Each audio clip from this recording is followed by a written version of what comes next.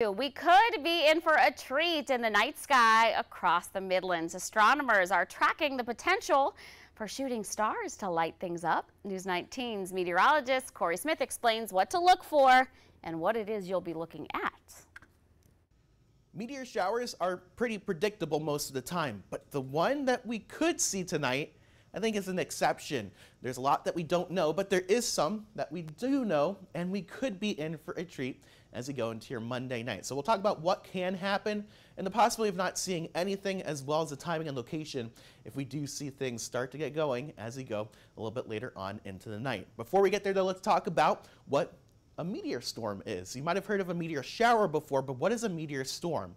It's the same thing, meteors moving from one location in the night sky but the big difference is the amount that we see. Rates of over a thousand per hour in the night sky, really just lighting everything up. And that is the potential that we could see tonight. Now, right now, this is something we're going to have to really watch as we go forward. There's a lot of unknowns, and astronomers have been tracking the culprit. It's actually a comet that we first spotted back in 1995, known as the Schwassmann-Wachmann 3 comet. We're going to call it SW3 for short. It began to break up in 1995, and you can see these images from 2006. There's a lot of debris behind this comet, and there's a lot of questions how that's going to interact as the Earth passes into this as we go into tonight. If things really work out, that's where we could be in for a treat tonight.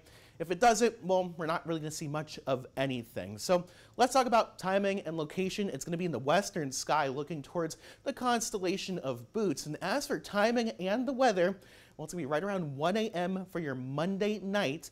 So going into your Tuesday morning with mostly clear skies. So I expect good viewing conditions. If we see anything, of course, that's the big if going forward. From the studio, I'm News 19 meteorologist Corey Smith. All right, something else. I'll be up late to check it out.